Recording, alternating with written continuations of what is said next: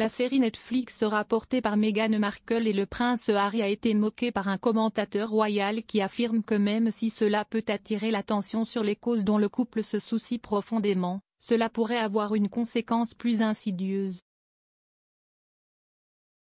Après avoir démissionné en tant que membre de la famille royale, le duc et la duchesse de Sussex ont signé un accord avec Netflix pour créer un contenu qui informe mais donne aussi de l'espoir.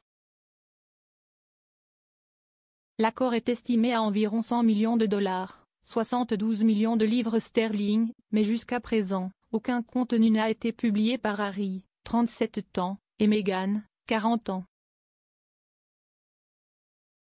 Cependant, un documentaire volant sur le mur serait en préparation. Meghan et Harry participeraient à une série de docu-séries à la maison avec le duc et la duchesse de Sussex selon page 6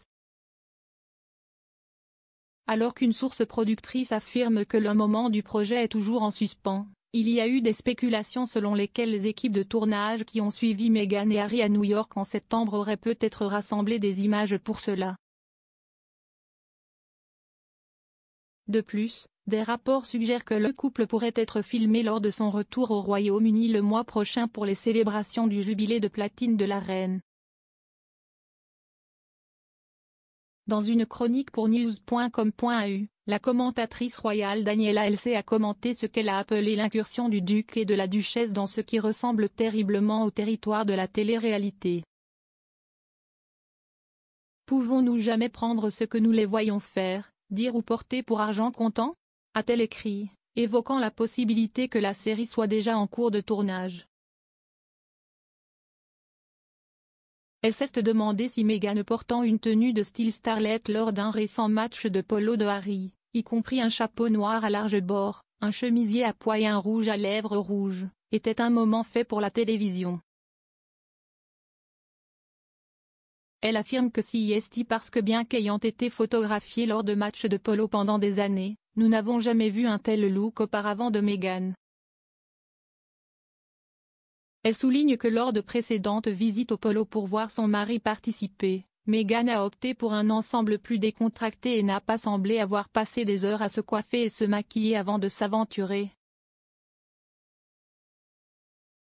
Dans sa chronique, elle a écrit « Maintenant que tous les signes indiquent que Harry et Meghan filment une docu-série, pouvons-nous croire ce que nous voyons ?»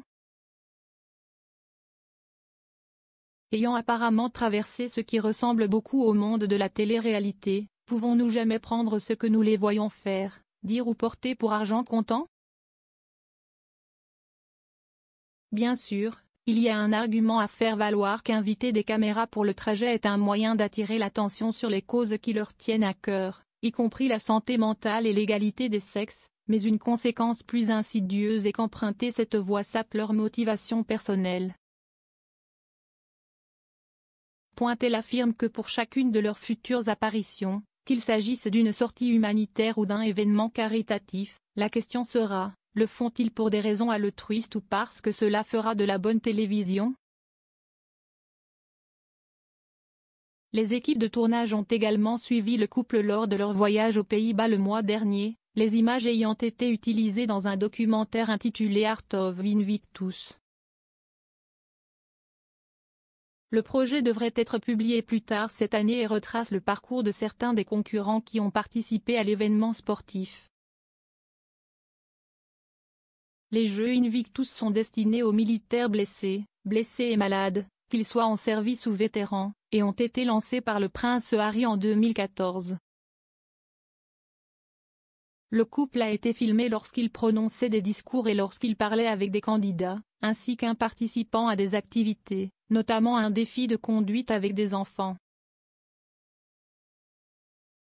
Another show in the pipeline for the couple was scrapped by Netflix amid a series of cost-cutting measures. The animated series with their king title Pearl was to follow a younger finding inspiration from women through good history. At the time of announcing the show was in the pipeline, Meghan said, like many girls her age, our heroine Pearl is on a journey of self-discovery as she tries to overcome life's daily challenge. Pearl was described as being a heartfelt adventure comedy series, and Megan was expected to serve as executive producer alongside David Furnish, Elton John's husband.